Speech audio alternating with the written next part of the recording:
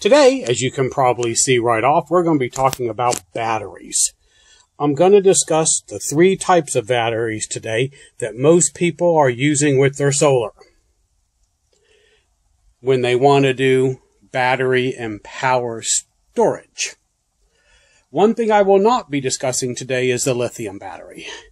Lithium batteries are very expensive and difficult to charge.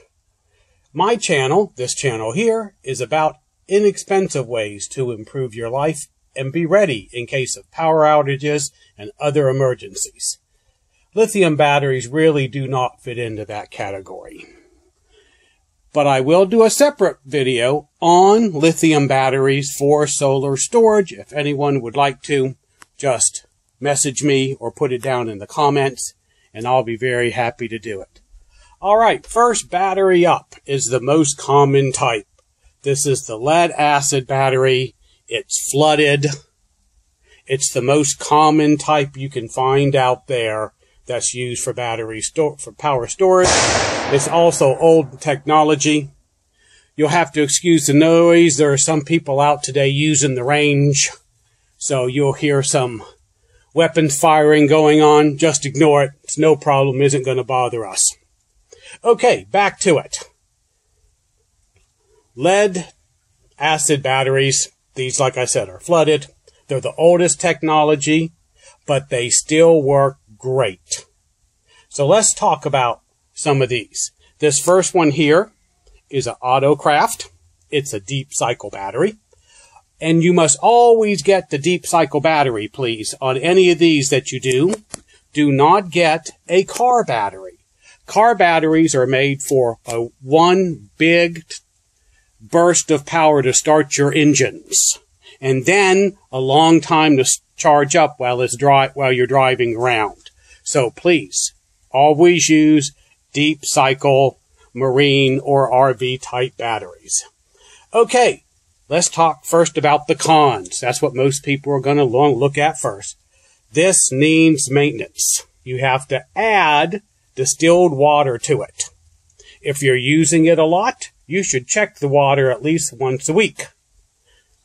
So, as everyone knows, and in case you don't, I'll point it out, this is the access point to the batter to the water. You simply open it up, pour the water in. Be careful with batteries. Battery acid can burn you. You must be very careful with it. So you have to check water. You have to add distilled water.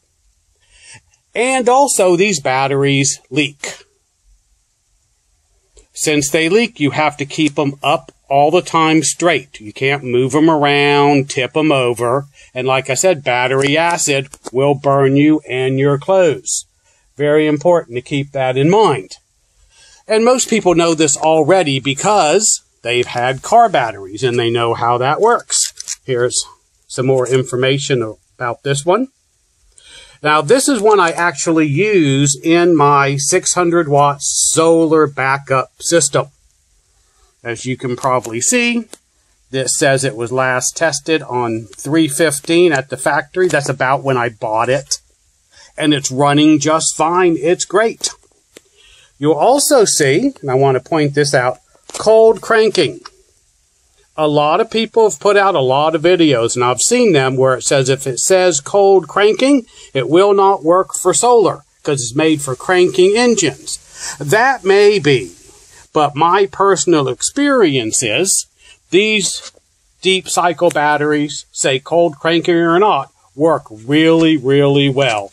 These are the workhorses of my all my solar systems right here at the house. So, deep cycle, marine battery, flooded.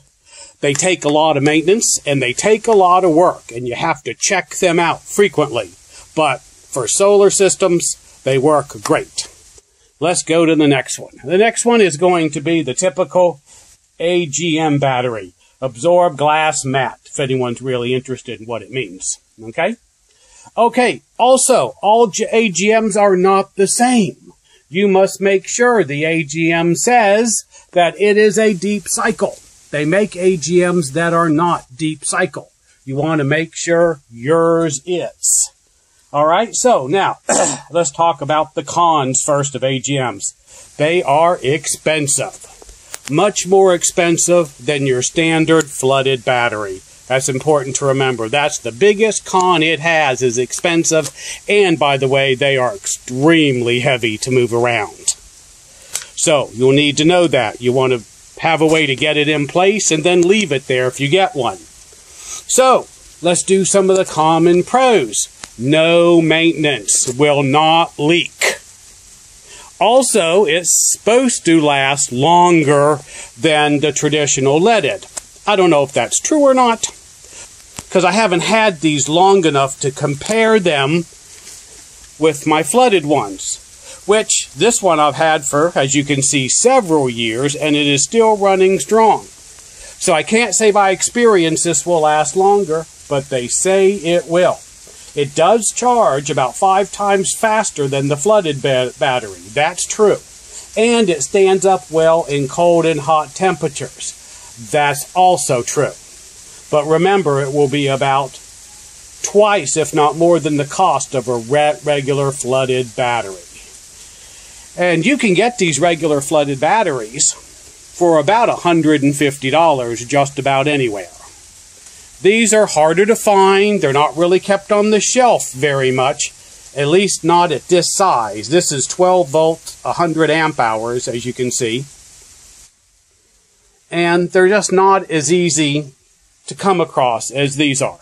So, there you have the AGM. It takes no maintenance. It does not spill. It will not burn you. And it lasts longer, supposed to, and I know it charges faster. Also, it's heavy and extremely expensive. Okay, our last one is the gel, right? This is a gel battery right here I have. It is also 12 volts and 100 amp hours. Okay? It also uh, takes no maintenance. And it does not leak, just like the AGM. It has special gel, a special gel agent is added to the electrolytes. That's why it's called the gel, by the way. It will also charge faster than the flooded battery, and they tell me faster than the AGM, but they seem about the same to me. Okay, the cons. Ooh, very expensive. Much more expensive than an AGM battery. And also, I have found they are difficult to charge. With an AGM battery, most battery chargers now have a setting for AGM.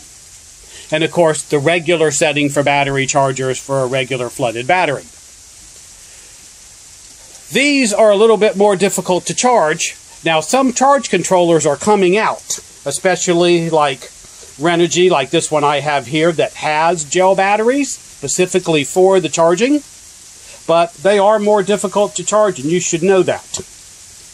Okay? So, same as the AGM with maintenance. Same as the AGM with no spilling. It is also extremely heavy. And it is supposed to charge faster than the AGM does. And it's supposed to have a larger, longer life cycle. I don't know that for a fact either. But I'll find out because I own one. I only have one. I use it inside the house when I need to run something, normally a sensitive electronic, that I need a pure sine wave with because I don't want that sensitive piece of equipment harmed. And this lasts the longest and it charges up the best. So that's why I have one, but only one. Really can't afford much more than that. All these batteries, by the way, talking about charging, should not be discharged very low. You'll harm the battery. And these are very expensive, just any type you get. So you want to take care of them, and you want them to last as long as you can. So once you pick one, read the manual on it, look up whatever you can, treat it the very best, and don't discharge it too far. Shoestring has a rule when it comes to discharging. All right, the rule is never discharge any battery below 12.1 unless it's an emergency. So that's my rule. It's always worked well for me. I hope it will work well for you. Just remember, once you pick your battery type, stay with that type. If you're setting up a small solar system and you purchase one of these first, make sure you buy other batteries to go in that same system, just like this one. Same type, this case 27DC2. Make sure they all match together. They'll be much more functional and they'll last longer. They'll discharge and charge together really well. If you're going to get the AGM or if you're going to get the gel, same thing. Get the same type of gel, the same type of batteries and hook them all together and they'll work much more efficiently. So, if you'd like to know any more about this information, please put something down in the comments. And if you really want to know something about lithium, of course, then I'll be happy to do one for you. Please subscribe and like, and please share to anyone else you think might like this type of video. Shoestring out.